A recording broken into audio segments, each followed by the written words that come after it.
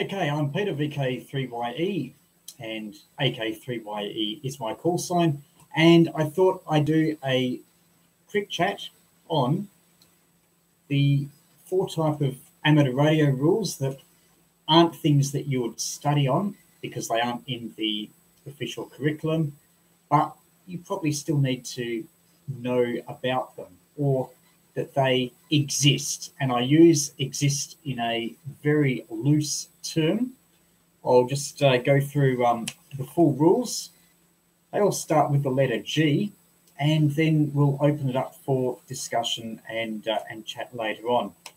And a lot of this is to do with perceived rules. Anyway, and a lot of it is some of it's superstition, some of it's law, some of it's rules that don't really exist.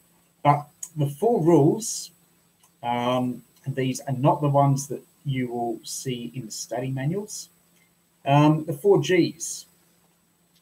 The first ones are the grey areas. Um, sometimes the official rules are confusing. There might be technology that has come in and the official rules haven't caught up, as there might be a new mode or whatever. Um, and the um, the sort of grey areas. So you don't quite know what they are.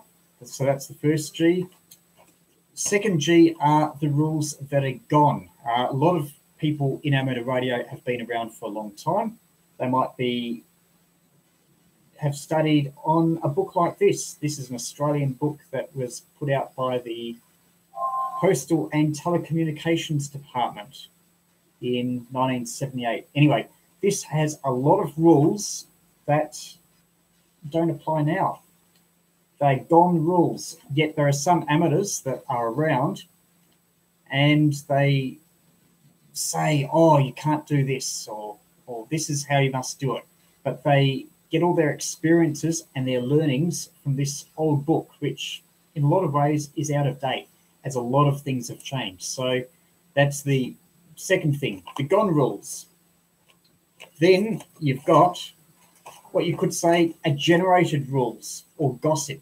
These are rules that don't really exist. Um, but some people carry on like they do exist and they might instruct newcomers as in you know they, they set themselves up as the authority they say that you know this is illegal or whatever and you actually look at the real rules and they don't mention anything about it. So just be a bit mindful if you're on the air or if something's um, um, you hear people opining about the rules, always look them up and seek independent verification because not all of what you hear on the air is actually truly the rules. And so that's generated or gossip rules. Then there's what you might call the fourth type of rule, and that's, I suppose you could say, it's the good rule. It's the detailed stuff that is not covered in the official rules, but it's still worth um, worth following. And that is the gentleman's agreement. Um, things like band plans, for instance. In the United States, it's a little bit different because on HF, the FCC tells you um, where you may or may not operate SSB. In other countries, it's a bit different. It's um, set up by amateurs. The conventions are that you know, in HF, you've got CW at the bottom end of the HF band. Then you might have a slice for digital modes. Then at the top end, you've got SSB AM voice mode. So these sorts of things are in band plans and they are gentlemen's agreements. So that's the fourth rule. And that actually does have a rationale because if you were operating incompatible modes in different frequencies, then there's greater source of interference. So good idea to educate yourself on them and follow them.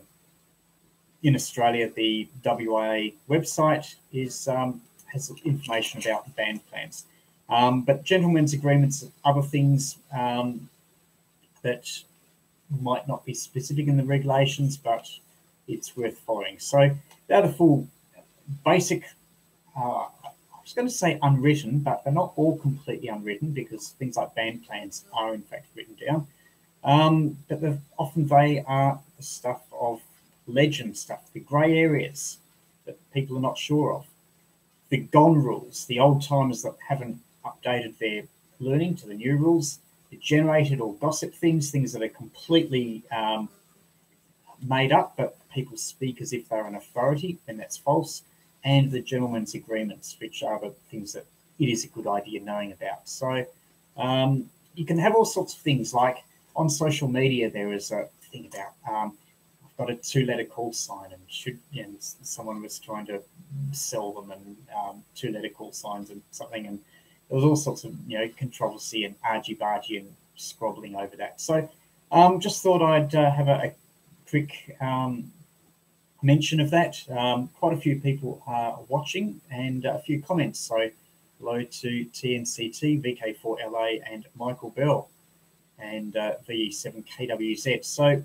that's pretty much all I've got to say. If there's any questions or uh, other things, then um, um, I'll answer them. Otherwise, we'll make it a short one.